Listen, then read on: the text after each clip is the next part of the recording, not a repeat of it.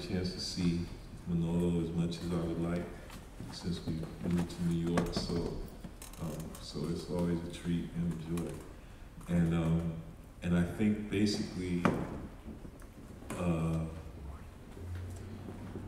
well, just very briefly, when I, I met uh, Manolo, I can't even remember now, six or seven years ago, I guess, at UC Riverside. He came to give a talk at the invitation of our, our mutual friend, um, Pickles Camacho, Angelica Camacho, who uh, teaches here now at San Francisco State. I don't know if she made it here today, but um, basically, for me, it was a kind of a there's, you know, six or seven moments in, in my life where I remember feeling like everything kind of maybe maybe there's one part of the feeling is that everything changed, and then another part of the feeling is that it didn't so much that everything changed, but that stuff became more clear. Um, the, the stuff I just became more clear.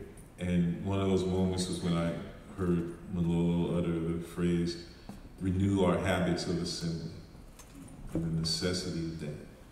Um, and so, really, today, I think how I hope we proceed is is with you, Manolo, giving us some ideas about how to do that, like, but also just give us a sense of the, the sort of practical work and protocols that, that you have been engaged in over many years in, in the interest of renewing our habits of assembly and then in thinking about what the relationship is between our capacity to renew our habits of assembly and our capacity to our capacity for the general strike or for the taking back of space, um, for our capacity to prepare for um, for the for the for what Cedric Robinson used to call the heightening of the contradictions. so. Uh, well, uh, well, I want to thank uh, Dina and Perry and everybody with the lab for making this possible and to be here with my dear friend. And uh, be honest with you, I just want to ask you fugitivity and how fugitivity is essential to conviviality. Um, but, uh, well, I mean, in all seriousness, it is like incredible, right, to, you know, have someone of Fred's stature, and, and I don't mean is, is uh, academic bona fides, but the kind of work he's been doing with Stefano and other folks that he always engages in kind of serious ways. That's a real honor, of course it's a little intimidating, let me be honest. Um, I, I, I, mean, some of us have been kind of following Fred uh, for a while, and of course, following him here during his visit and attending all these spaces, and it's just incredible to be re- reminded of you know his erudition and his generosity. And but I was thinking about this on Thursday of his of his kind of of his fierceness. I mean, he's such a gentle guy. And, such a thoughtful, caring person, but I think there's a fierceness there. And it's that, that kind of fierceness around critique, right? And, and the necessity for critique and the necessity to kind of engage and keep fighting. And, and I think that's what fuels the erudition, right? In other words, it's not just an academic exercise, it's, it's the hard work that we have to do. And one thing we've been thinking about, kind of along these lines, at CCRA, the Center for Convivial Research and Autonomy, which is kind of what Fred was referring to, um, so anyway, I just wanted to get that out of the way and thank everybody. So, to get back to, to the question, to really the seriousness about fugitivity. So the Center for Convivial Research and Autonomy is a kind of a collective that emerged out of years of Zapatismo and trying to engage this question of Zapatismo and Ani Paradise is she's also part of that collective, as are others, folks in the, uh, out in the Yucatan, and of course Fred's been part of the, our, our conversation and supporting our work and, and walking with us, you know, preguntando, caminando. And we're trying to, you know, think through this, this, this question, CCRA have been trying to kind of engage this question about conviviality. And, and this was precisely what he said, you know, re- reclaiming the habits of assembly as a kind of a, a pristine moment of conviviality. And, and what we're trying to think through now, just to give you a little background. So again, we came out of years of Zapatismo and trying to, you know, engage the Zapatistas and try to think beyond solidarity, which of course meant, you know, how we were engaging, you know, capital, state, um, and you know, reclaiming spaces, reclaiming institutions, and and you know, to try to like uh, uh, Ana Dinerstein's been writing lately, trying to uh, uh, you know, demediate ourselves, right? If capitalism is a social mediating system that's total, then how do we demediate ourselves? In other words, we don't only want to decommodify and deprivatize and deterritorialize. We have to kind of think about how to be outside this outside.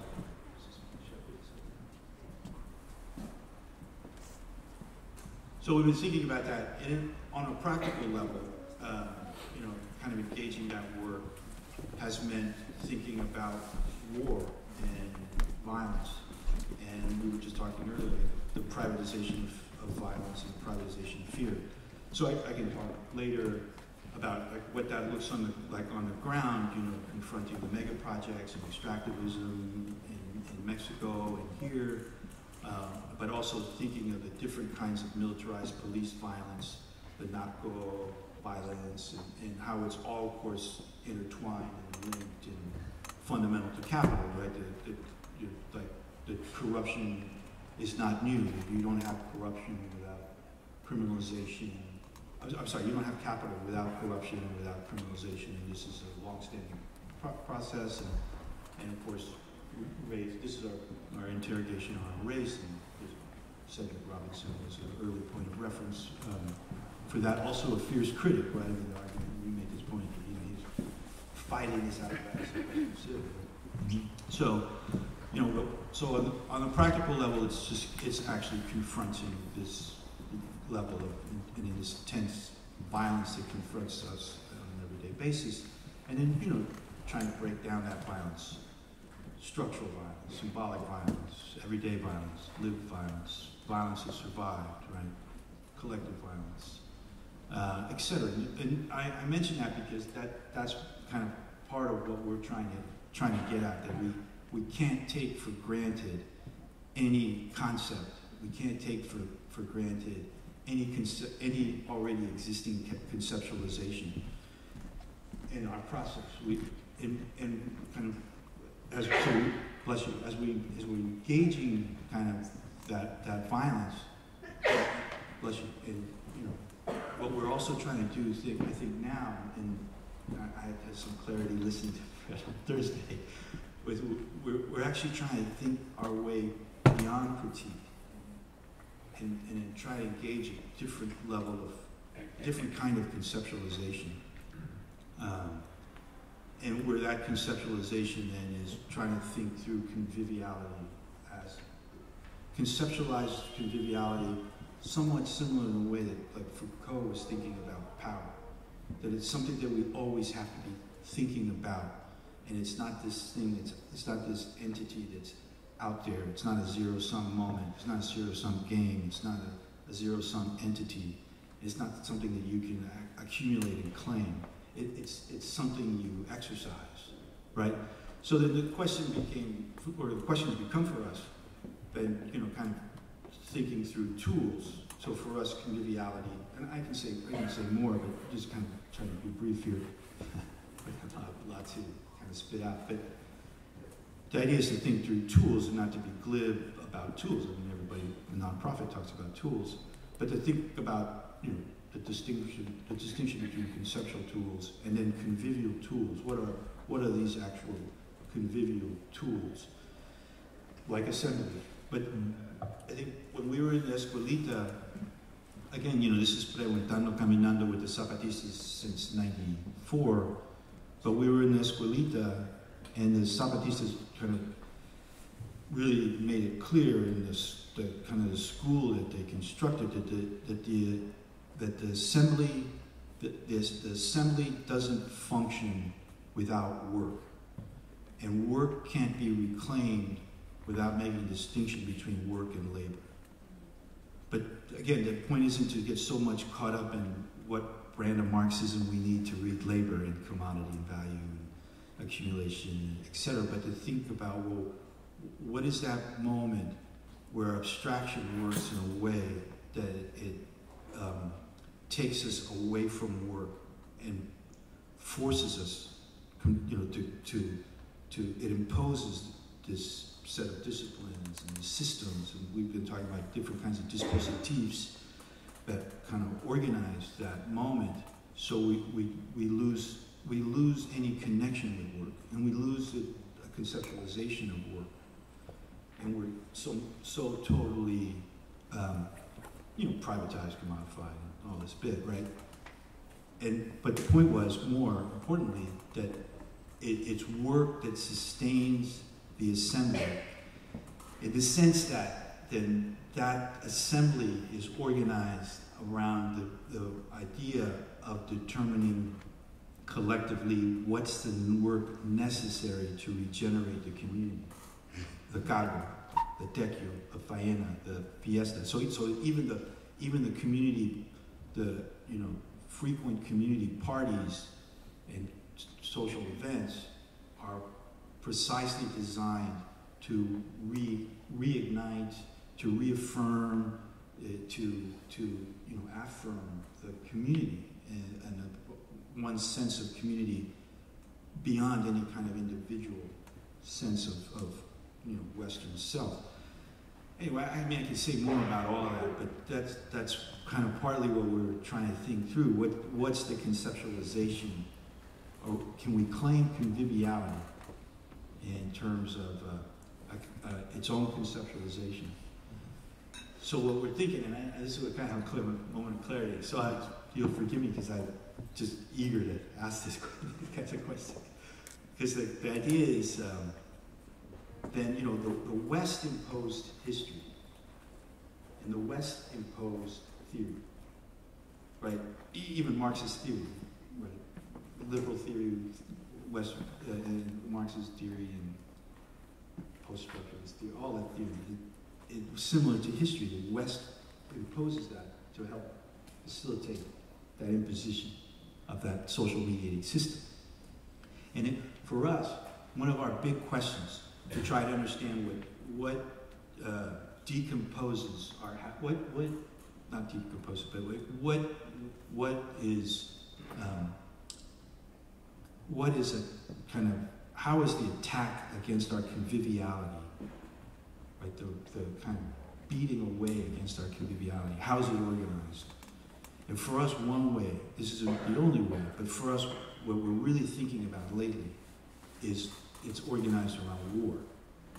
And the West claimed war in a very particular way, much the way it claimed history, much the way it claimed theory that for me, that uh, that's how criminals say, well, for us, it's not to me, but I'm saying But uh, for us, that's how we think through criminalization and criminality. I, I, I, I, talk about but I liked your essay, the uplifting criminality.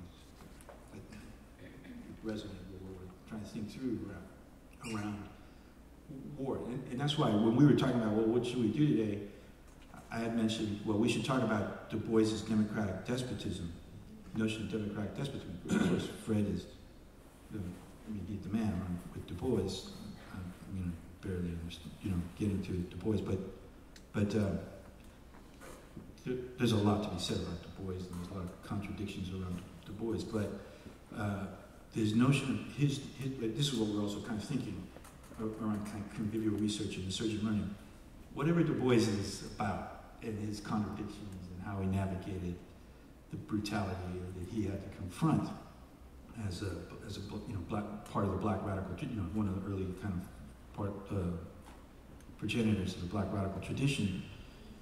Democratic despotism is a brilliant concept and a brilliant category because it exposes fully how the West appropriated war and, and claimed war as a way to facilitate the imposition of capital. and part of the argument that he makes is that the, the, the very agreement that the white, quote unquote, working class, but in other words, that worker who can claim whiteness, which is everybody that's not, that everybody who's refused, who's not refusing it, right? Uh, that they, they, they claim it and um, are able to enjoy the benefits of the exploitation and brutalization and criminalization of black and brown bodies. And they, and they, they do that through an armed national organization, which is the, the bourgeois state, right? The, the, the later state, not the early state, but the, the, that comes to kind of fully into formation in the 19th century, the manifest destiny state, right? This, the total separate colonial state. And I think that's, that's a, we need to be talking about democratic despotism, um, I think, in, in more than we, than we have. Especially with the, the spectacle and, you know, the individuation that's happening right now with the elections and bullshit that's happening. It's nightmarish. But anyway, it's just, No, I got excited. I'm, I'm excited too. So now, okay, this brings me. Okay, so there's so much stuff that um, that, that we have to, to, to get to. So first of all, with regard to Du Bois, um, I- I'm not the man. I'm not even close to being the man. I, I know who the man is though. Um, his name is Nahum Dimitri Chandler. He teaches at University of California, Irvine. And he's the most sort of thorough and meticulous um, reader of Du Bois in the world, I think, is at least the most, the, the one that I, he's the, the baddest one that I know. And the reason I'm bringing him up is because what you just said, Manolo, made me realize something that is really at the heart of, which is to say, at the heart, but also at the very beginning of, of Nahum's project of reading Du Bois. And he, uh, Nahum wrote a book that was published, I don't know, um, I guess five or six years ago, maybe a little longer now, and it's called X. Um, is the main title, and the subtitle is The Problem of the Negro as a Problem for Thought. And the first sentence of this text, if I'm not mistaken, I hope I don't get it wrong, is we must desediment the dissimulation of a war. And that's what you're talking about. The other key, well, moment that's similar, and is something that, that our mutual friend Stefano Harney always was fixated on in the way that he was reading Foucault and the way that he was.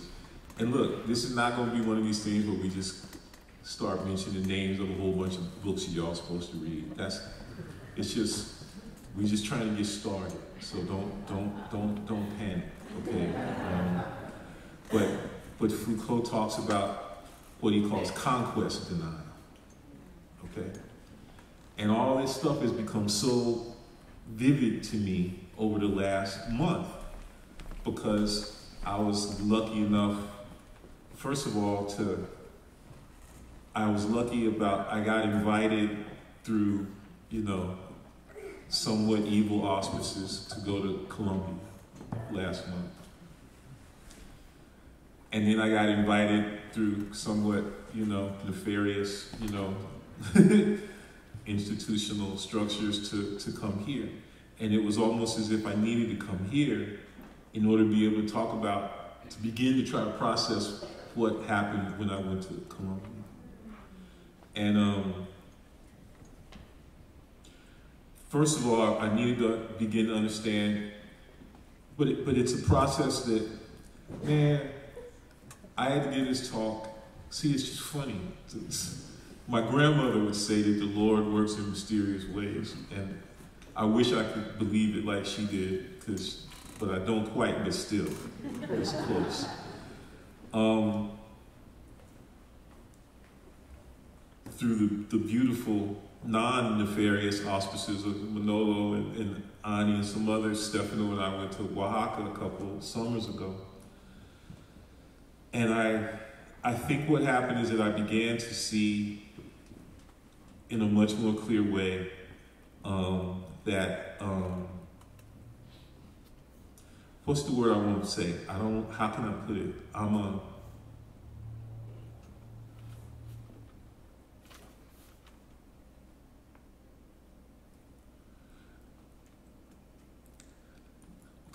I want to say it even though I don't like these terms, but y'all understand what I mean when I say that that that I am, you know, I, I have I've begun to discover that I am that I am Latin American. Okay? That that it is just not possible. It can't look the, of course I, I understand the critique of so-called American exceptionalism and I've understood the, the necessary critiques of the African American variant of American exceptionalism. But I also understand the, the easy, equally nationalistic ways in which people can deploy that critique to bash whoever they want to bash, and I don't want to be in that fight. I, I, you know, I, you know, American descendants of slaves. I don't, I don't know what this means. I, it's stupid. It's retrograde. But I also know that a whole lot of the people who are desperately, you know, happy to be able to say how retrograde that is are also themselves speaking from a retrograde place. So I don't, that's not, I'm not trying to just dog. What, what I'm trying to say is, is that then there's a, so there's one understanding of yes, I, I am part of a, of a diaspora, I am part of a, massive history of displacement that manifested itself all over the course of all over this hemisphere. And I recognize that. But then there's this other deeper way, okay, than, than just where it's not about your personal identity, okay? The, anyway, I'm blabbering. Let me, let me try to make some sense. I began to understand this going to Oaxaca. Um, and then going to Colombia just reinforced it. I began to understand, I think, that, that if there is a common history of the people who have been displaced by Western modernity, the folks who were literally extracted as resources from Africa and dispersed all over this hemisphere, the people who were already here living in this hemisphere and who were dispersed and violently displaced by settlement if what if this, the common what if the common history that we share tends towards the general strike? So that's the question that I've been thinking about. And the reason I was thinking about it was because of the way in which when we were in Oaxaca, we were kind of living through the trace and the remains of the 2006 general strike and how that reshaped the city. And then I was reminded of that by this young woman named Pamela, whose last name I didn't even get, at the Otis College of Art, who wrote this beautiful little two-page essay on her own displacement from Oaxaca City by that within after the in the aftermath of that general strike. How that how her and her family having to leave to go to Baltimore, Maryland, right? That that the city became unreal for her, you know, in a certain kind of way as a function of that. Um, which is to say, as a function of the paramilitary response to the general strike. And then, but that was against the backdrop of having met this woman in Bogota named Diana Sanchez, who is a kind of, I would almost call her like a meta activist. The form her activism takes is to try to protect other activists, particularly outside of the city of Bogota, who are under the constant threat and constant duress of what she calls paramilitarism. As a kind, and she talks about paramilitarism as if it were an atmospheric condition.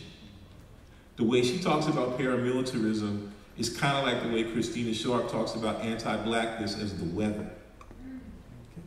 What if we understand that the history of our sojourn in the Americas over the last 500 years is a history of trying to survive the heavy, brutal weather of paramilitarism.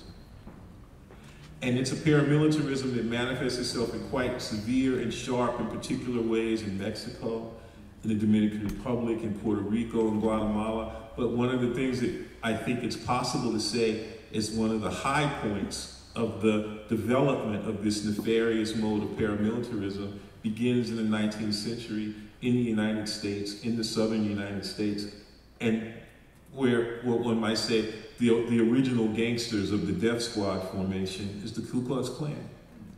And that's a paramilitary, which is to say, so when we talk, we can talk about death squads, you know, liberal bullshitters, you know, in the United States, or Jimmy Carter could decry paramilitarism in, in the form of the death squads in El Salvador, but that shit began, well, I don't even want to say it began here, but it, but it moved through here, right?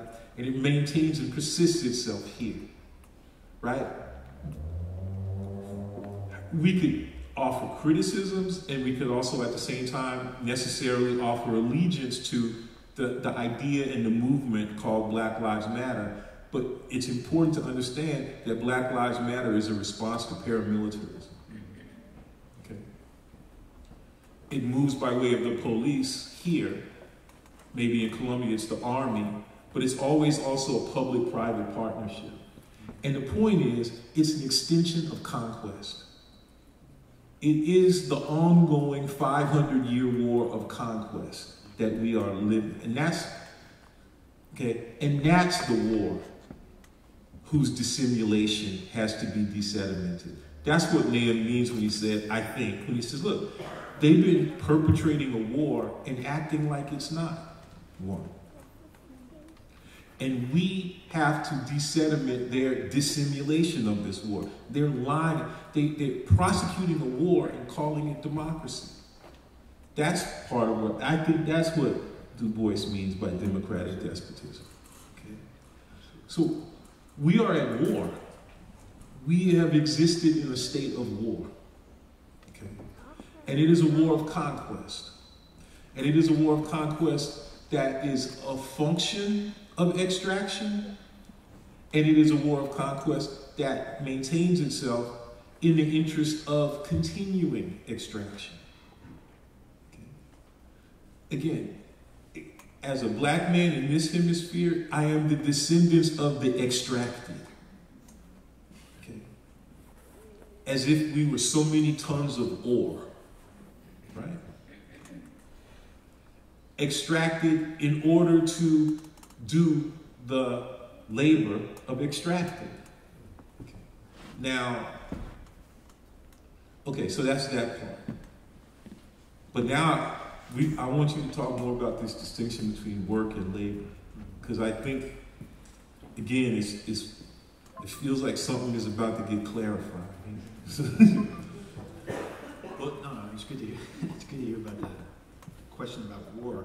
I, I would just add that, like, the, but the Texas Rangers, yeah. the California Rangers, and you know, for the folks who may be unfamiliar with the Texas Rangers and the California Rangers, they were orga organized to basically as a paramilitary outfit in uh, in the 1820s, 1830s, in first in Texas and then later here in, in California, essentially to to um, hunt down indigenous peoples and as later at Mexicanos, they were Mexican peoples, ethnic Mexican peoples, and they were very good at it. And they, I think they did uh, two things: once they be, were able to manage their professionalization, mm-hmm. and two, they were they were able to write their history. They were able to write the, the they wrote their history about themselves that will become the frontier fantasy that um, you know will kind of dominate our, our own kind of narrative of the U.S.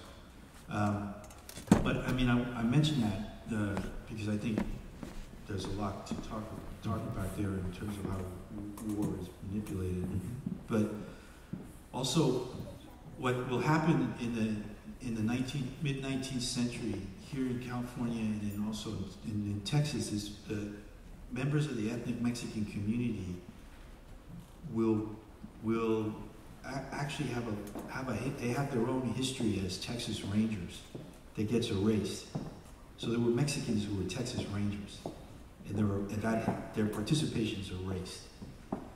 And so they're both the victims of the Texas Rangers, but they, they are at times also Texas Rangers. And the Texas Rangers learned how to be Texas Rangers from Mexicans. And, it, and it's a certain kind of Mexican that is attacking indigenous peoples. And, and so I say that, I say all kinds of caveats and footnotes and, and air quotes and stuff.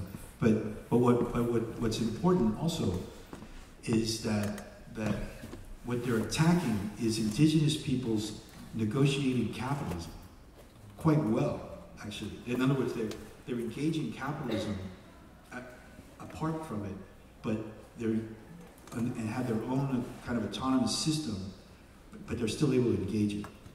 At the same time, they're also being enslaved, and that, their enslavement is also uh, written out of, out of our history. So they, they are also become that, they are also extracted to become extractors. Mm-hmm. And so there's a lot to talk about there. There's a complex, complex history.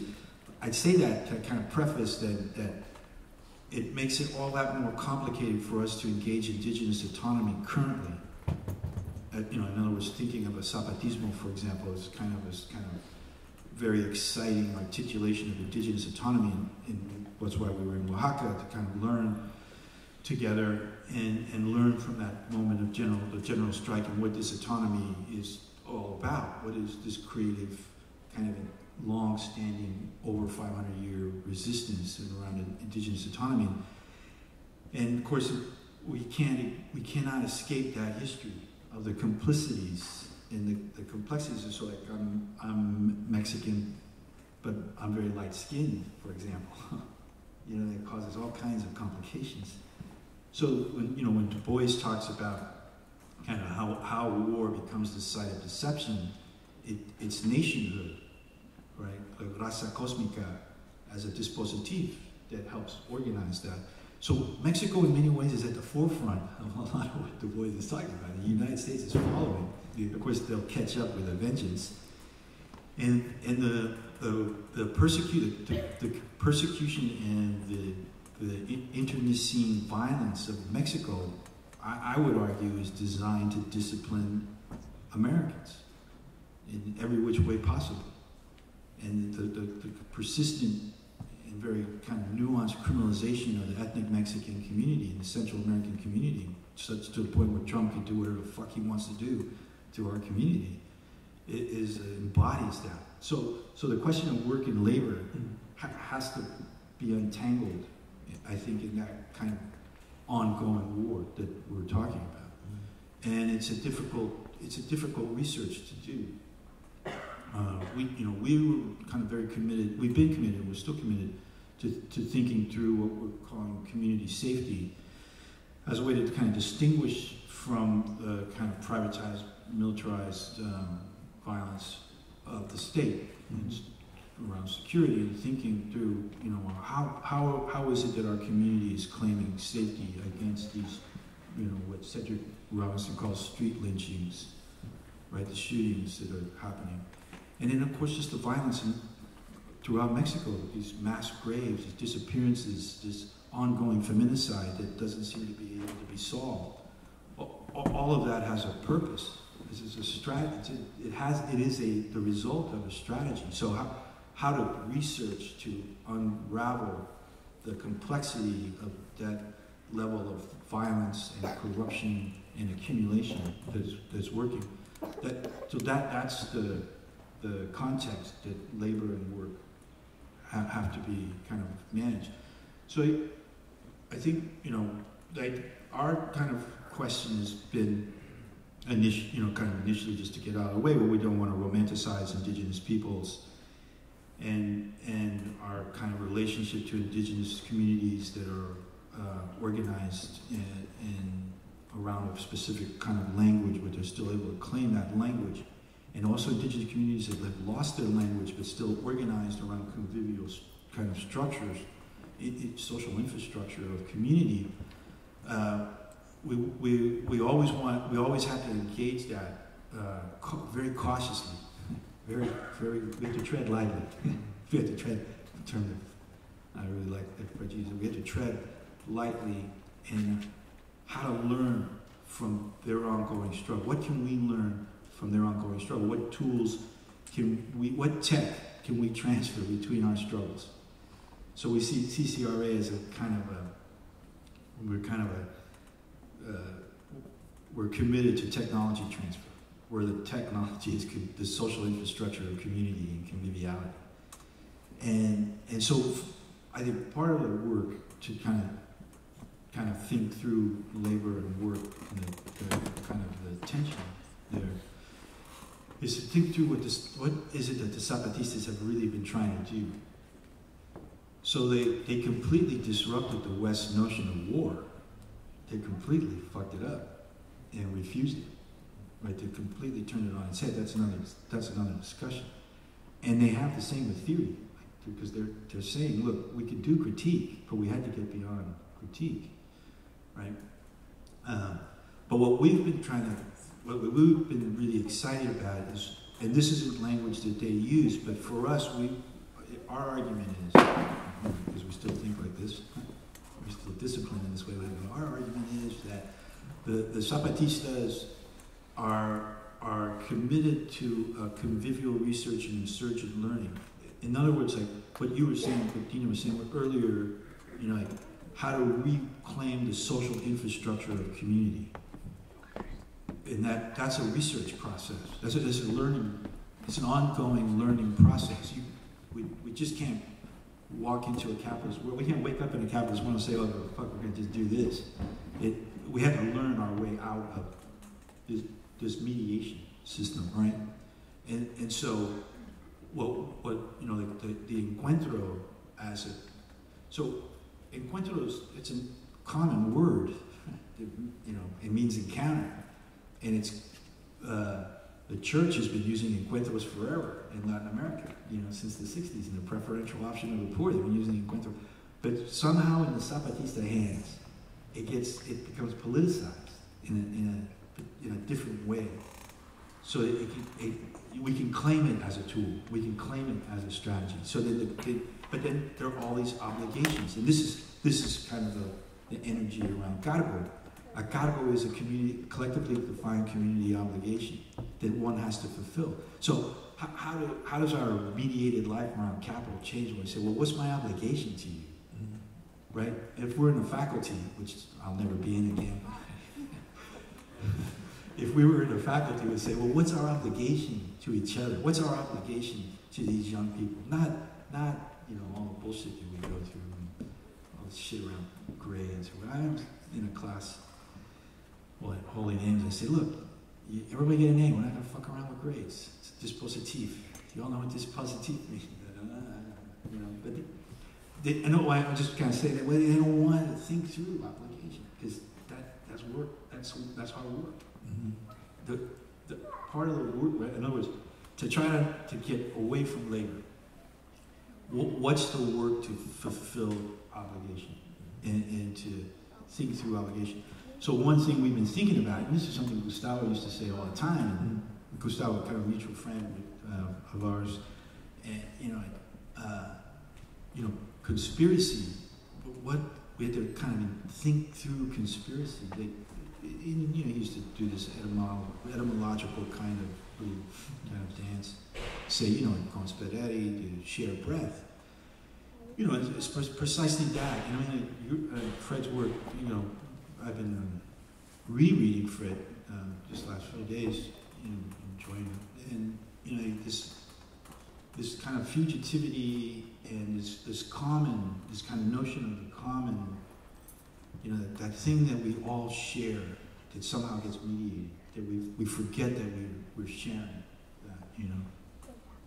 And, uh, you know, that, that's that conspiratorial moment, you know, that we, we want to share together. How, do, how is it that we can share together, right? And part, part of it, and just kind of back, it, it, part of it is, like, back in the old days, there were halls like this that you could share in certain, on a certain level. There was a, a certain level and an integrity around a kind of sharing. There was still somewhat mediated, but it was a gesture towards that.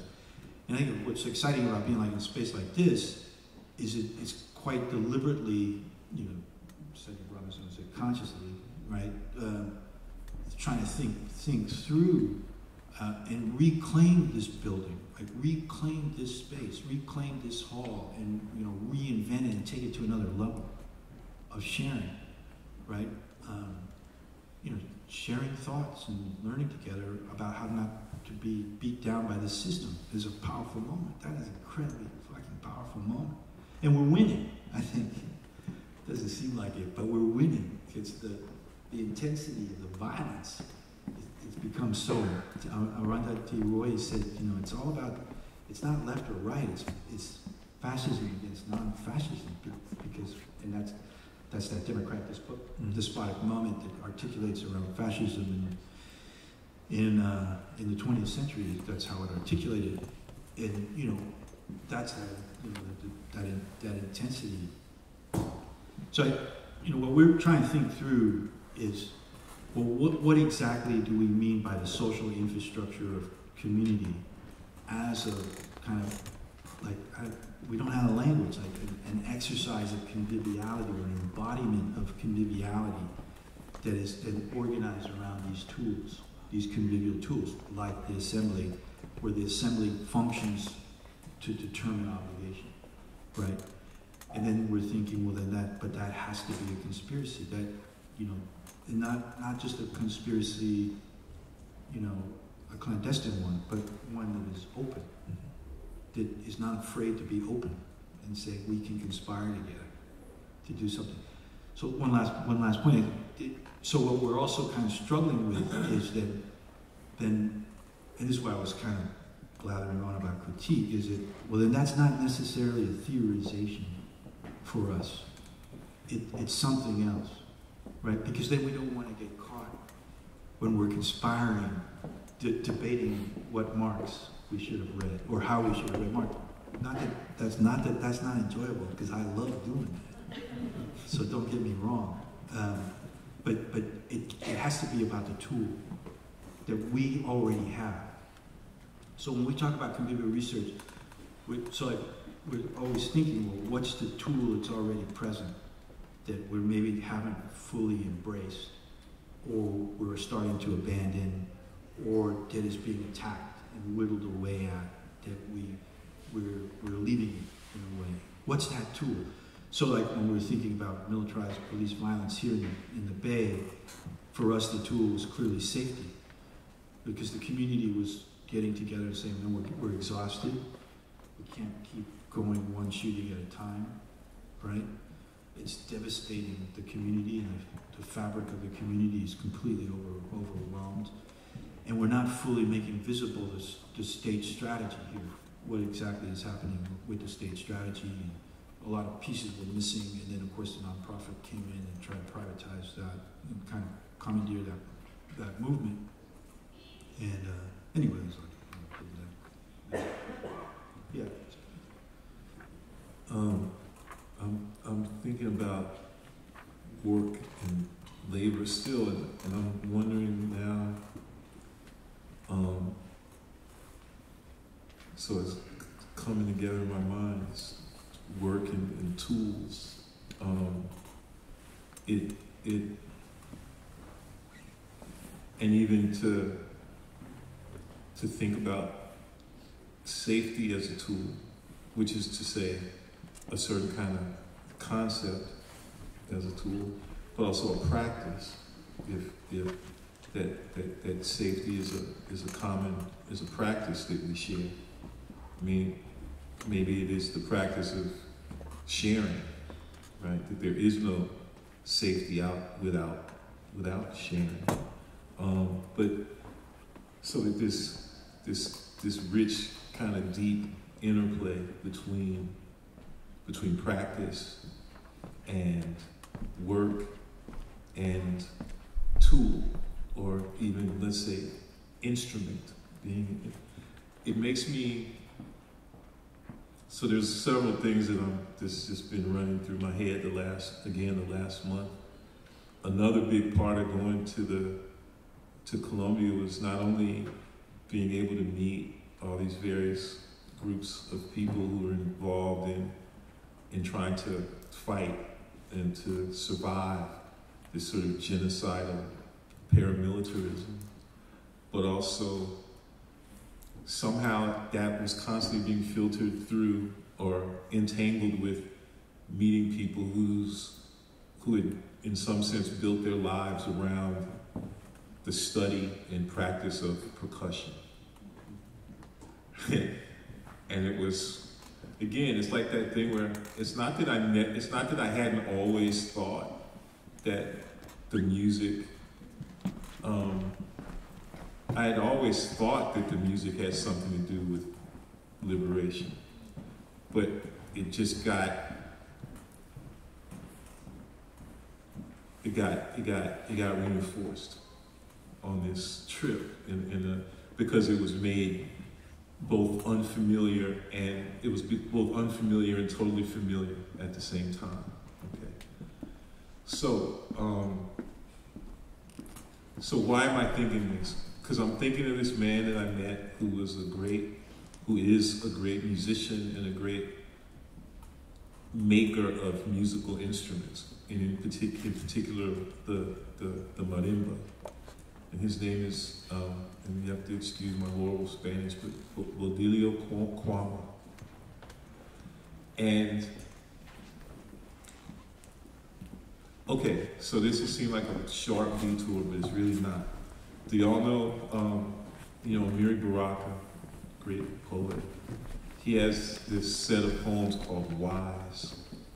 Um, and it's spelled two different ways W H Y S, but also W I S E. And in one of these poems, the first one I think of the series, he's sort of saying, kind of talking about the middle passage basically, and what happens when you find yourself in the dark on your back on the ship you're in trouble. He says, and he says, what happens when you find, when you, when they take your oom boom boom boom? When they take your oom boom boom boom, then you're in deep trouble. It might take you 400 years to get out. He's talking about this on a double sense, the, the taking of, of, of African percussion, which was a tool for communication, but also uh, a tool of communicability. It was a, it was a, a, a right? It was a, and so um, one way to think about what Don Baudilio is doing is trying to, to, to not to take it back, but to, to, to, to, to be in this constant process of the reclamation of percussion as, as, a, as a modality of sharing. And of, and and what I guess the reason why I'm going off on this tangent is because what when they took away the boom boom ba boom on the shores of what we now call the United States, like the laws outlawing drums in South Carolina in the 1730s, for instance, when they did that, what what folks did was they just turned their bodies into instruments, right? That's out out of it is out of that sort of criminalization of percussion that Hambone and Juba emerged, right? These, you know, that. Okay. Um, it's a it's a powerful moment of something like what you might call becoming an instrument in a way that has certain kinds of Christian resonances. You know, Lord, I just want to be your instrument. I, I want to be a vessel, right? That that kind of thing. we become instruments for one another. This is part of the work, okay? Um, and the space or the, the movement or the practice within which that becoming instrument is both enacted and also protected, that's part of what I think is meant not just by me, but by the folks who really, well, the main person to my mind who I took up the term fugitivity from Nathaniel Mackey. That's what I think he meant. You know, this this this movement and practice of sharing that under duress, um, which is both a movement out of, it's always directed out of the world within which this duress is carried out. But it is also a movement within that world, right? Um, too. It's always both. There, there's a there's a flight from and at the same time also flight within. And that flight is also always fighting. It's not in opposition to, it's not flight or fight, it's flight and fight. Right? Um, and and it is and it's material. It, it's sensual. Um, that notion of conspiracy, to breathe with, to share breath, it reminds me of. Uh, it reminds me of this. Well, to you know, to me at least, you know, sort of great, you know, Afro-American novel is is is Their Eyes Are Watching God by Zora Neale Hurston. And if you remember at the very beginning of the book, as she's re-entering her community in Eatonville, Janie goes up to her house and then meets her, her friend Phoebe, brings her some food, and Phoebe's telling her that all the folks are sitting on their porches wondering what happened to Janie and wondering what Janie said. Janie said, I ain't thinking about them people. I don't care to tell them my story, but I'll tell you, Phoebe, and if you want to tell them, you can. Because she says, because my, my tongue is in my friend's mouth. So here, this breathing together, at the same time also as this speaking together. And, and what she's telling is a story of fugitivity the story of what she calls life in the muck, right? With and it's people want to talk about it as if it were a love story or a kind of down home Harlequin romance kind of thing, but it, it ain't so much about Janie's relation to tea cake. It's about both their relations to the muck, both their relations to a certain kind of sociality at work, right? That that they engaged in together with other people. And, um, and it's about the ways in which that kind of sociality is always under duress. Um, and, and some of the duress that it's under is not just, is what you might call like theoretical duress. not, it's not theoretical because it only exists in theory. It's theoretical because it is in some ways produced by way of the deployment of theory. Right? Um, So part of the reason I'm so excited about the difference between work and labor is because it lets me know that the, the, irony, one of the ironies of Marx is, is he makes a he makes he makes a crucial theoretical distinction between labor and labor power. But the way he makes that distinction is by recognizing that capital had already made that distinction, right? Capital like, look, capital wants to abstract from the body of the laborer. Don't want to have to be responsible for it. Okay? It's why wage slavery is a ratcheting up of the violence of slavery. Okay? Right? Because now I don't have to be responsible for your body. You have to be responsible for your body. I gave, matter fact, you have to be responsible for the individual body that I imposed upon you by violence. Right? And what, what this distinction between, and so we say, okay, yes, let me see now if I can go about the business of becoming responsible for this body that you have imposed upon me. Right? Okay, let me stop for a second. To, is it clear what I mean when I say the body that has been imposed upon me? Can I stop for two minutes and explain what I mean by I just want to make sure. Okay.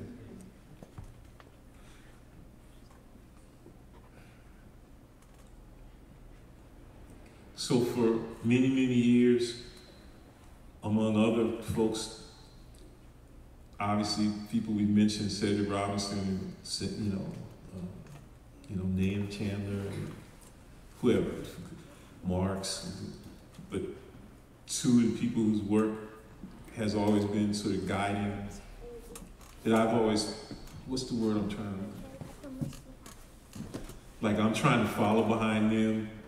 You know how little kids sometimes, you know, will follow behind you in the garden and you know, pick up shit, you know, you know, you know what I'm talking about? Like, you know, trying to help. You know what I'm saying? Trying to help. Like baby help. You, you ever get y'all ever get baby help, you know? And you'd be like, come on, you know, it makes the job longer and shit, you know, everything. But they're trying to learn how to work. As my grand man, there's so much shit running through my head, man. Like my mother sent me to Arkansas when I was 12 for the summer because my grandfather said it was time for him to teach me how to work. And that's what I did. I followed behind him and on his truck farm in Kingsville, Arkansas, and I was trying to pick, you know, picking picking purple hull peas. And, you know, and and I, I messed up a lot of peas picking them too soon. You know, I, I, I ruined a lot of tomatoes picking them too soon. You know, you know, by the end of the summer, I, could, I was at least, you know what I'm saying. So, so my relation to my grandfather is somewhat like my relation to to, to Hortense Spillers and Saidiya Hartman. Um, you know, they, they're trying to show me how to work, and I'm following behind them. And, and this is one of those instances where I'm following behind them, okay? So they're like, you know, Spillers, you know, there's a version of what Spillers says that became popular a few years ago, written by, you know, this Ta-Nehisi Coates, you know, what's the, the, between the world and me. He talks about black life as being, in some ways, determined by what he calls the theft of the body. Well, Hortense Spillers said that shit in 1987. Okay. And he doesn't really cite her, but he probably just forgot. Sometimes that shit happens. Sometimes you don't know where stuff comes from, and it doesn't mean I'm serious. You, you can't always be responsible for who, for what you heard. You know, it doesn't matter. What matters is that it helped to revive this idea. Okay, and he's saying, yeah, you know, she's saying that part of what the experience of slavery was was that you were you were you had a body you, you, you, you, experience it as the theft of a body. What does it mean to have a body? First of all, it means that you can have. The condition of being a slave is you couldn't have anything. You couldn't even have yourself, right? You could have a baby, but you couldn't have the baby. It wasn't yours. It belonged to the master. You understand? This was this condition, right? You couldn't protect yourself. Um, Spiller says you, it meant that you were, you were absolutely available in the flesh to slave masters. And, and this availability is part of it is an availability that operates within the general framework, okay, of paramilitarism, of that, of, of policing. It's like they just come in your house. They can just grab you out the car, right? You, you, you just, they, as she said, they can pluck your nappy head from wherever you are. Okay? They can just come get you. And you can't protect yourself, right? And when you can't protect yourself, that basically means you don't have a self to protect. The body is the sort of conceptual slash physical ground of this capacity for self protection, for self protection, for self location, right? For self identification, right? The body is the seat of that. Okay. So, to live without a body, to live in the aftermath of the theft of body, that's brutal, right? It's experienced primarily as, as torture. But what I think is implicit in what Spillers is saying and I think this is made more explicit when you read Saidiya Hartman as a reader of Spillers, is that this theft of body is always accompanied by an equally horrific, brutal mode of violation, which is the imposition of the idea of the necessity of an individual body in the first goddamn place. Because that's the condition of possibility of this sort of normalization of brutal individuation. I used to, I saw this with when my kids were like in, in nursery school, you know, like in daycare, and and the, and the people who the, the women who ran the daycare were beautiful, lovely people. They felt that it was absolutely necessary to make sure that my kids early on knew this is your body. You know, you see what I'm saying? They were kind of constantly trying to make sure that the kids knew that their bodies belonged to them as a way of building them up to protect themselves from possible violation, right? But what it really did was it interdicted a kind of discipline on those kids. Because you know how little kids are, when they see each other, they just want to hug each other. Right? They're constantly crawling all over you and crawling all over themselves, right? It was, it was the beginning of a regulation of this very specific kind of haptic sociality that kids are It was just the beginning of it. Don't invade my space, right? That's mine. You see what I mean? It was the beginning of the enforcement of a regime of private property where the first modality of private property is your body. And that's a brutal violence too. Okay? That's it's the it's the conceptual ground of what this great, you know, historian of thought George Macpherson called possessive individualism which is the fundamental crucial idea for capitalism. So do you see what I'm trying to say? What, what, what, what black folks, what indigenous folks, what women in this 500 year era of conquest have had to deal with is this double violation. The theft of body and the imposition of the body. They go together. Okay. So, what I guess I'm trying to say is this distinction between work. So we say labor, the distinction between labor and labor power says that in the wake of slavery, in the so called aftermath of it, which is itself a kind of myth, right? The difference between wage labor and slave labor is, is that the enslaved, the, the formerly enslaved person now has to take responsibility for their own body. Okay. Under conditions that are structured in such a way that they could never properly take responsibility for their own body. Right? We'll pay you shit, nothing. But you know what? I don't have to take care of your body anymore. You do. And guess what? You know, all you have to do is continue to produce bodies so that thereby rendering your own body absolutely and imminently replaceable. So, there's a part of the process of liberation that we become involved in, in which we say, okay, let me now figure out how to take responsibility for and to protect my own body to protect my own individual life or to say that our individual lives matter when those individual lives have been subdivided out of, you know, a sort of general notion of community. And all I'm trying to suggest is, is that this distinction that Manolo is making between work and labor allows us to take a further step beyond that essentially liberal, okay, reaction. It's not that it's a bad reaction. It's not that it's not a justified reaction. Yes, let me protect my body. Let us protect our bodies. But a further thought is required. And that further thought, I think, is given to us by way of this distinction between work and labor.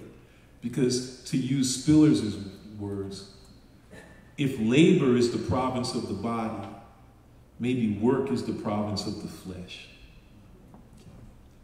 Which is to say, of our animated flesh, our conspiratorial flesh, our, the flesh we have that breathes together, okay? And that isn't structured by the sharp and brutal individuation, okay, of our community into infinite but uncollectible sets of individual bodies. We're not individual bodies right? You know, when when you some of y'all have kids, so y'all know what I mean. That's just the easiest way. It's like, no man, that's that's not it's my body. No, no, that's not your body. When you hurt your body, it hurts me. Okay?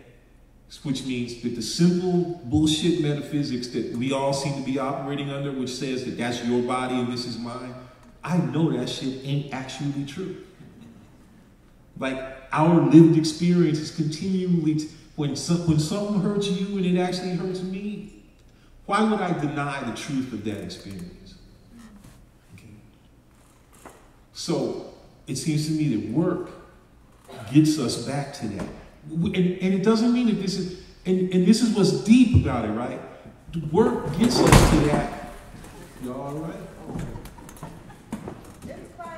Okay, that hurt. That hurt me. um, seriously, okay, but um, we we why would we accept that?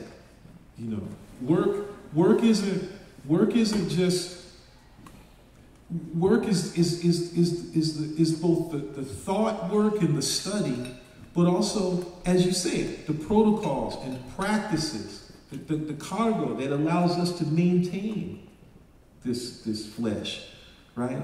And, and, and, to, and as you say, to, to protect it. it. So I'm not talking about like that silly, goopy, romantic Tom. Y'all understand? It's not that. The love is not that. It's, it's the love you got to work for. You have to work for it. It's not naturalized as some condition that maintains itself even though you don't do no work for it. Um, so I'm just agreeing with you. well, no, I mean, listen, I love listening to this. But uh, what, one thing that I just kept thinking about in terms of like, also thinking back to the, to the drumming and, and dance, which is always the drumming, right? you know, when we when we start out just before the Zapatistas, group of us thinking through, you know, like, I guess technically what we're calling network pedagogy, but the idea was to, you know, to to to manage how we were um, being um, disciplined at, into the university system, right? So we, we, the way we talked about it at the time is we wanted to anticipate our own diaspora meaning that after graduate school we would go off and all since you know I'm very light skinned, but all of us were folks, young young people of color, and, and the idea was we did you know we didn't want to just be the token minority. We wanted to try to remain a collective and to from our own kind of collect collectivity manage how we were all navigating uh, different faculties as we were joining faculties. So we, we would still technically be together but dispersed. Mm-hmm. And um, it didn't work, unfortunately, because we couldn't share uh, the work, uh, meaning we couldn't share the distribution, the dis distribution of the little crumbs we got. We would refuse to share it. But uh, that's another story. But, but our strategy at the time was to think through uh, connecting different spaces. So we had the bar seminar. Um, imagine the bar seminar as an extension of the seminar that we were also trying to control that seminar so we weren't just there consuming.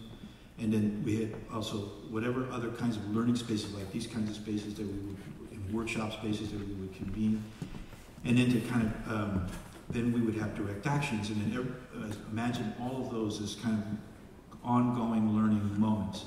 But what we imagined that tied it all together for us was the mitote, and mitote was a word that the Spanish used to criminalize indigenous peoples who were organizing uh, clandestinely. And so the idea for us was to reclaim that word, and but, but also to reclaim that practice and to have basically the kind of long story short was we, we, we would we'd try to politicize the house party. So the idea was we'd take the house party. So we'd be at the bar seminar and we'd be there till 10, 11, and then we'd go to the house party. And in that, but we insisted that the house party, um, you know, continue the energy and the learning, but it had to be a space of, of learning. So we had to, you know, organize some knowledge that we were sharing in some particular way. But, but the idea of the mitote was also that it was, uh, what we kind of playfully said, it was a clandestine, ritualized uh, celebration and dance and intergenerational sharing, right? House party, you know, pisteando, drinking hard and dancing and music, and, but, but we would break and talk about shit. Not, not talk like against, but would, like somebody would, you know, say something that needed to be discussed, and then we keep partying and dancing. And then, of course, all things happen around that kind of space. But, you know, anyway, but, you know, what, listening to you, uh, you know, that's made sense and it worked very well and, and as this part of the strategy. And one of the arguments that we were making at the time was that, uh, and I think, you know, think about it in terms of kind of even the working class, the U.S. working class, that you know, capital destroyed the working class bar to, to control workers. It, you know, so our argument was that we, you know, we need that space to let to reclaim our bodies, right? And that's what I was thinking. Like, how do you reclaim your body so it's not, you know, the system's body anymore? It's, it's back to your body. Sometimes that looks like to some people like you're destroying your body but you're, you're reclaiming it. You're in your body through dance and through whatever else happens. And, you know, drink helps. Other kinds of party favors help. And, you know, that's what it is. That, but that, to me, it's always been a reclaiming. And I, I say that also, um, you know, the Zapatistas always have a dance after. Of course, they do that. There's no alcohol and no drugs in the Zapatista communities, uh, which is also fine. I prefer it the other way, but uh, but I, am also saying that I, I can't I don't I can't trace it out exactly, but I think we're at a stage of capital that is a frightening stage of capital. It's also very exciting because capital is ending. We can talk about that, but ca- capital no longer it, gonna, it can't reproduce itself, nor can what it's doing nor can the environment sustain what it's doing. So it's frightening and exciting. But, but, but capital is really going after the body in a vicious way. And we're so afraid to be together. It seems to be, maybe because I'm old, maybe I'm out of things now, but it seems, it seems that we're increasingly more afraid to be around each other. I mean, it's COVID 19. My God it's going to destroy COVID 19, this virus is exposing how fucked up capital, how capital can't reproduce itself anymore. But it, what's also frightening is people are afraid of each other. And that's, that's scary. That's, that is, right? Not that people weren't already afraid of each other, because that's what race does, but in general. But it's taken another level. So they go, it's militarized in a way that's astonishing. And you know, I wonder about that. I, I, I worry. I worry about. I worry about that. Right. That, you know, when we're reclaiming work mm-hmm. and trying to imagine, you know, where we're beyond this system, where we work again. Right. I mean, that's exactly what the Zapatistas did. The Escuelita was organized such that the I don't know, was it three thousand visitors? I can't remember. Everybody went to a community and did exactly what you did. They followed along people who were working. And that was that was the pedagogy. There was no, with the exception of the one group of folks who stayed at Universidad de la Tierra there in San Cris, were all the intellectuals and the old men, which is where I was. But other than that, if you were in the community, you were you were following along, watching how people pick coffee, how people you know clean, and how you know you make food in a, over an open fire. You know, in, in a compact dirt floor and what, what that world is about. Anyway, I also mention that because, you know, I think, you know, one of the, one of the kind of complexities around conviviality and the, you know, question of reclaiming work and like the social infrastructure of community and re- reclaiming these tools is that we're so far from we're so far from, in many ways it feels at times, we're so far from the Escuelita. You know, we're so far from these communities, where these communities, like in Colombia, like you're saying, in Brazil, the level of paramilitary violence and, and narco violence, which is the state and capital, that is it's just at a level that is it's I don't know the that's the language for it. It's astonishing. How how do we intervene? And you know, the U.S. is responsible. I mean, what do we do? I, I mean, I I say that I think we know what to do, but to make that step, hmm. To reclaim work, is part of that step, right? It's it's, it's also part of partly confronting that violence. Like we do, we were doing this. Uh, we put, put together this one tool, community safety um, database, and the idea of the community safety database is a lot, a lot to say about it. But part of it was to how, how do we con construct a space, a space, you know, this social infrastructure to to be with mothers who have lost who've lost a son or, or a daughter or a child. How, how do we be or, or you know, brother or, sibling. How do we be with family members who who've suffered that the loss of that kind of state violence mm-hmm. and state manufactured violence? Right? How, how do we, you know, walk with them and what what do we do uh, and how do we continue to learn, like learn from them? Because we all know this. Everybody here knows this. It, they're they're incredibly well organized and they're they're the, they're the first responders, and they don't let go so there's a lot to do there. There's a lot, you know, to learn from and a lot to engage. You know, and how, you know, how do we do that? And, and, that's also part of that work, right? Is just like just to follow along, mm-hmm. you know, following along, and and you know, they're managing all this intense level of crisis. Mm-hmm. within this extent, extended family and community that gets really complex. You know, mm-hmm. so just how to manage all that is difficult. And anyway, that's partly what we've also been thinking about in terms of like the, the conviviality, where there, mm-hmm. there's a tool, there's a there's a tool there that is not always so visible to us. Mm-hmm. And then you know, but then, and this is the point I really want to make is, but it it's naive not to say that there's also not a distance. Yeah. It's right.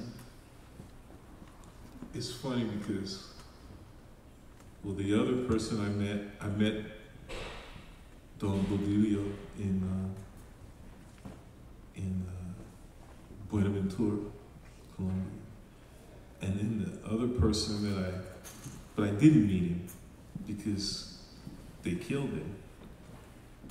A man named uh, Temistocles Machado, who was a kind of leader of a group. Um, the, the translation in English of the name of the group is the Black Communities Process in, in Buenaventura. He was engaged in something like a community database, an archive he had built that included not only the history of folks' inhabitation in this sort of unchartered, you know, sort of non-individually owned land that they shared outside of the framework of the state, but also the history of how that land then got stolen. And the way, of course, that it was stolen was that it was first transplanted or transmuted into private property so that it could then be stolen. And, but the paramilitaries killed him. So who I met was his widow and his son and the other people who, with whom he had been engaged in essentially convivial research, which then was the groundwork that made it possible for them to engage in what they called a civil strike, or what we would call a general strike, that effectively shut, gummed up, and if not shut down, import export capital, not only in Colombia, but they, they backed the Panama Canal up just by virtue of taking control of a bridge that went from the port, because Buenaventura is a port city inland, and that was the primary logistical sort of, you know, uh, artery, okay, that, that allowed goods to be imported, you know, in, into the into the into the state. And then I was sitting, you know, on the picket line with the graduate student workers at UC Santa Cruz Wednesday, and who were trying in their own way to, to gum up the logistics of the UC system, which is really primarily around the circulation of grades. And they were engaged in their own forms of community, you know, uh, convivial research there. And what, I mean, I'm lucky enough to, to I, you know, I guess, to be in both places and at the same time not living under that immediate kind of duress that they both were living under in different ways.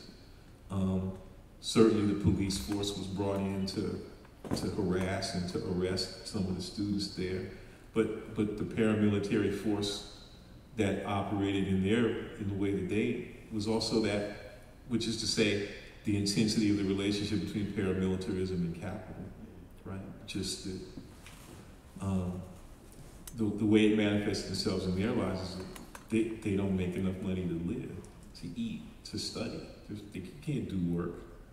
You know, you can't you can't you can't get any work done when the median you know rent in the city that you're supposed to live in is twenty four hundred and seventy two dollars or something, and your paycheck is twenty four hundred and thirty. It's bullshit. Okay, so you know, um, you know, being being underpaid is a form of policing too. So, so there's that part of it. But what links them, not me, but what linked them is that they both told me to tell y'all. right? So, so here's the thing. And what did they did, they want to spread the strike. They want to spread the general strike. Okay. Now the thing is, is that what the folks in Buenaventura, Colombia had is something that the student workers in Santa Cruz were trying to build. And it's something that we have to join them.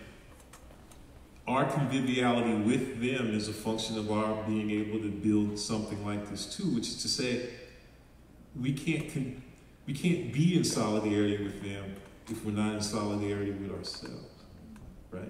Like like so that so that this you can't confront the enemy if you have not developed these habits of assembly. You can be confronted by them, you know, but you have to have. This is the. It's other. In other words, just how do you build? What's the condition of possibility of our resistance? And it is this conviviality, and it's these practices, and um. So it's like, yeah, I can, I can articulate my solidarity with those folks, but it doesn't mean shit if I haven't begun to consider and to study how to transform the habits of the conditions within which I deal with the people that I deal with every day.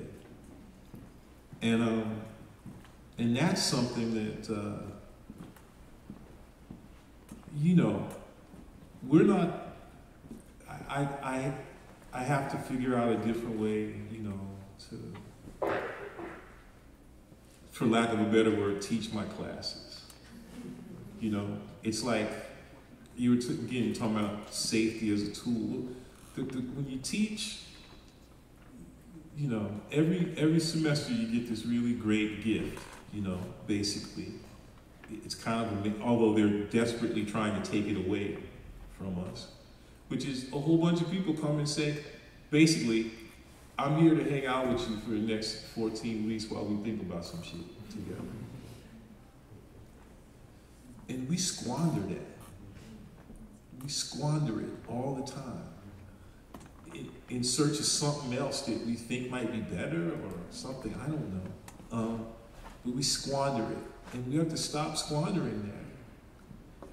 I mean, I, when I say we, I mean, I mean, I'm just saying this, I'm talking to my, I don't know, I'm just talking to myself out loud. I mean, to, for those of us who teach, maybe, but, and that's just one place. That's that's where I work. Okay, or that's where, that's that's where I provide labor. You know, if I want it to be a place where I work, then that's then I gotta we gotta work on that. You know. Um, I, I mean, I, I squander it. I do. Let me let me admit to everybody here, I squander it, and, and I and I it bothers me. But you know, I, I mean, at the same time, I also feel like I'm, we're confronted by a lot of young people who come in and say, I, I want that degree, and I want, and I was promised an experience here. mhm. You know, I was promised a package Yeah. that I was going to get a degree and I was going to have this good time, Mhm. right? And this is what was, that's what the catalog, you know, and that's what they all the recruiters said. Mhm. And and then you know they're mostly kids of color. Then they, well, why did I get abandoned when I got here? Mhm. So then, the- so they're getting a little pissed off, right? and then I'm out there spewing all this shit like, hey, you know, we got this is an interesting time, right? Capital is ending, right? Environment, what the fuck is this guy talking about, Mhm. right? And then I don't know what to do, right? I mean, I, you know, because yeah, I want to talk about work and labor. I Yeah. want to talk about conviviality. You know, like, let's let's hang out. I want to hang out. Yeah. And I'm like, what the fuck is this guy still doing here? you know? And then, and then the administration says, well, you know, hey, what the hell's going on in there? Right? You got an attendance problem. I said, no, I don't have a problem. You have an attendance problem. You know? Sorry. Sorry, I, I, thanks for listening. It's, I just being conscious of the time, it's, it's been about an hour and a half. And so we, we can either open it up to questions, we can talk a little bit more. I just want to gauge how you're feeling and how the audience is feeling right now. Um, Sinclair Shakes, who's here, has, is a, um, Oakland-based activist and food activist and nutritionist. And she's prepared, prepared this excellent pozole for us to share. Um, so we can, how do you feel, Fred? Oh, I, I know everybody probably hungry and wants to wants to is you almost want to talk to we I we just lost track of time. We're sorry. How do you feel? Do you want questions? Do you want to chat some What if we, yeah, what if we like reclaim our bodies for the opposite food and then? Just talk some more. Questions? Okay. All right, let's, let's maybe take two or three questions very quickly. Let's try to do it as briefly as possible. Okay.